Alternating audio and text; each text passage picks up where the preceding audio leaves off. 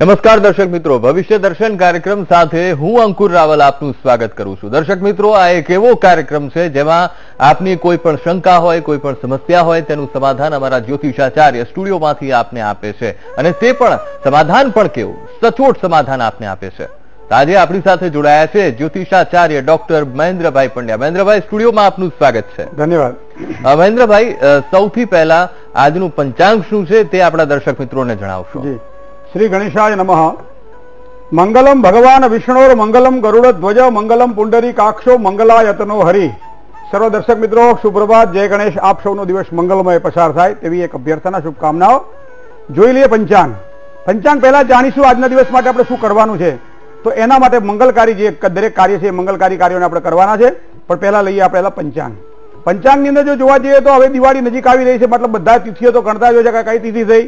કારણ કે દિવાળીના દિવસોમાં ઘર ઘર દીવડા થાય, ફટાકડા તો ફટફટ ફૂટે માનવ બહુ હરખાય.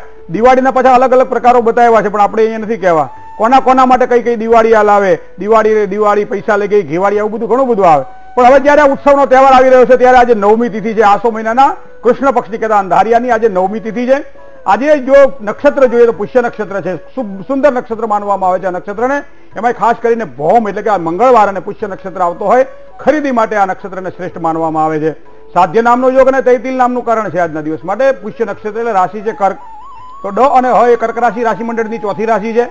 તો ડ અને હ જેના અક્ષર છે એવા કર્ક રાશિવાળા જાતકો માટે આજનો દિવસ મંગલમય રહેશે. જે કોઈ જાતકોનો જન્મ થાય એની કર્ક રાશિ કહેતા ડ અને હ અક્ષર નામ રાખવાનું રહેશે. બાવીસ દસની જેની જન્મ તારીખ છે એવા તમામ મિત્રોને જન્મ દિવસની ખૂબ ખૂબ શુભકામનાઓ. અને આ દિવસે જેના લગ્ન થયા છે, એવા લોકોને પણ મેરેજ એનિવર્સની ખૂબ ખૂબ શુભકામનાઓ. જય ગણેશ.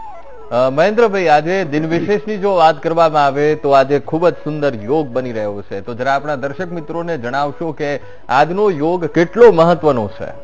સંપત્તિ અને સુખ અંકુર જ્યારે જોઈતું હોય ત્યારે વ્યક્તિએ શું કરવું જોઈએ? પરિવારમાં સુખ મેળવવા માટે કેવા પ્રકારના પ્રયત્નો કરવા જોઈએ? દેવું ઓછું કરવા માટે કયા પ્રકારના પ્રયત્ન કરવા જોઈએ? અને આ પણ બધું આધાર ગ્રહોનો લઈને જ્યારે કરવાની વાત આવતી હોય ત્યારે. ખાસ કરી જ્યારે આગળ એક એવો એક માહોલ ઉત્સવ હોય કે જેમાં વ્યક્તિ હળવો થવાય છે. કારણ કે ધનતેરસ એટલે ધનની પૂજા, કાળી ચૌદશ એટલે મહાકાલીની પૂજા અને દિવાળી એટલે મહાસરસ્વતીની પૂજા. આ ત્રણે ત્રણ પૂજા ભેગી થઈ જાય. મતલબ કે મહાકાલી, મહાલક્ષ્મી અને મહાસરસ્વતી. તો આ ત્રણે ત્રણની પૂજા દિવાળી થાય અને બેસતા વર્ષે માણસ હળવો થઈ જાય. તો આજના દિવસ માટે આ મંગલકારી કાર્યોના ફાયદા કયા છે? તો મંગલકારી કાર્ય કોને કહેવાય? જે કાર્ય કરવાથી પ્રસન્નતા વધે, જે કંઈ કાર્ય કરવાથી આશાસ્પદ તારણો ઊભા થાય, જે કોઈ કાર્ય કરવાથી મન પ્રસન્ન બને સાથે સાથે જે કોઈ લોકો આપણી સાથે સંકળાયેલા હોય, એ લોકોને પણ આનંદની એક અનુભૂતિ થાય. ઘણા વ્યક્તિઓના સંપર્કમાં આપણે રહીએ ને, તો થોડીક વારમાં પ્રસન્ન થઈ જઈએ. અને ઘણા લોકોના સંપર્કમાં આપણે આવીએ ને, એમ થાય કે અહીંથી નીકળી જઈએ આપણે, જગ્યા ખાલી કરી દઈએ. કારણ કે એના જે વાઇબ્રેશન છે આપણા માટે ખરાબ છે. તો આ વાઇબ્રેશન ક્યાંથી આવે છે? તો ધારયતે અહીંથી ધર્મ. જે કોઈ વસ્તુ મને પોઝિટિવ લાગતી હોય એને હું ગ્રહણ કરી લઉં છું અને એને હું વધારે વધારે એને બ્રોડ વધારે વધારે એને વિસ્તૃતિકરણ કરું છું. અને એટલા માટે કદાચ જેને પુરાણોની રચના કરી, વેદમ્યાથી એને આપણે વ્યાસ કહીએ છીએ. વ્યાસ એટલે વિસ્તાર. તો અહીંયા અહીં વિસ્તાર કરવાનો છે. તો મંગલકારી જે કાર્યો છે એ સુખનો વિસ્તાર કરે છે. મંગલકારી તમારા કાર્યો છે એ આનંદમાં વૃદ્ધિ કરે છે. પણ એના માટે એવું છે કે ગમતું મળે તો અલ્યા ગુજે ન ભરીએ, ગમતાનો કરીએ ગુલાલ. તમારી પાસે જે વસ્તુ છે એ ભોગવાઈ ચૂકી છે, પછી એનું દાન કરો. તમે જોજો, કકડાટ કાઢવાનો નિયમ ચૌદશના દિવસે આપણા બતાવેલો છે કે ચૌદશના દિવસે કકડાટ કાઢવો કાળી ચૌદશના દિવસે. કયો કકડાટ કાઢવો હે? ઘણા બધા વ્યક્તિઓ બધી બધી ઉતરેલી વસ્તુઓ કાઢે છે. પણ દિવાળી બેસતું વર્ષ આવતું હોય, મને ગમતા કપડાં મેં રાખી લીધેલા હોય, અને એમાંથી અમુક કપડાને સાચવીને બાકીના કપડાઓનું દાન કરી દઉં, તો આ શું મંગલકારી ન કહેવાય?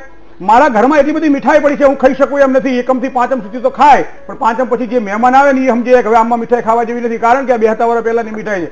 માદાપડીએ કારણ વગરના ઘરે બેહવાયા છે કઈ મરવાયા છે આ નક્કી કરવા માટે મંગલકારી મંગલની ઉપાસના છે દિવાળીના દિવસે જેટલી મીઠાઈ જોઈતી હોય એટલી રાખવી. બેસતા વર્ષના દિવસે આ. મીઠાઈ કોઈને દાનમાં આપી દેવી. તો અહીંયા સંપત્તિનું જે સુખ છે એ મંગળથી પ્રાપ્ત થાય છે.